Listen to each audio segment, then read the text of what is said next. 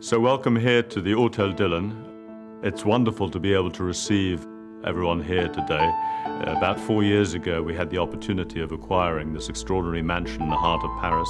We're just a few feet from the Champs-Élysées and just across the road from Le Grand Palais. Here at number 31 Avenue Franklin Roosevelt, we have come together to create a new restaurant called Le Clarence, but also a uh, extraordinary wine shop called La Cave du Château. We will be working with uh, Chef Christophe Pelé to be able to produce some of the finest dishes to accompany some of the finest bottles ever created uh, from around the great vineyards of this beautiful country.